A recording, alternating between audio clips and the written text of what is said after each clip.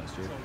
Um, yeah, I think um, you know there's a, there's a great mood in our locker room and just around the rink and everything. Uh, you know, Mel's bringing a lot of energy, and um, we have a lot of new guys, and everyone fits well.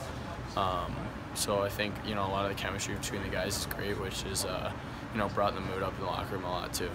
And Mel talked about you know you going through shoulder surgery and looking for kind of a bounce back. So I guess how are you feeling? How's your own progress going on? Uh, I feel great. Um, you know the the surgery was was timed well, so um, I'm ready to go at the beginning of the season. Um, so yeah, I'm feeling I'm feeling really good about it, and the surgeon did a real good job, and um, we've done a real good job in rehabbing it and everything. So I feel confident in uh, starting the season up, and I'm really excited for it. Um, how have the freshmen kind of gotten integrated in your eyes? Uh, I guess just early on.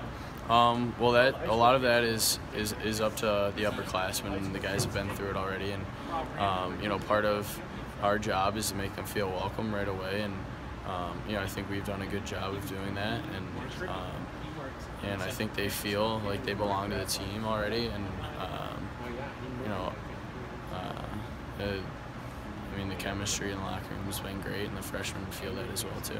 Have you gotten a sense for kind of the skill level of those guys at all, or is it kind of too early to tell for you? Um, well, I mean, anyone that's going to come in here is going to, you know, be able to play the game, and we have some really good freshmen coming in. Um, you know, I think just about everyone can make an impact in the games. Um, so we really look forward to seeing what they can do and how they can help impact our team. What stands out about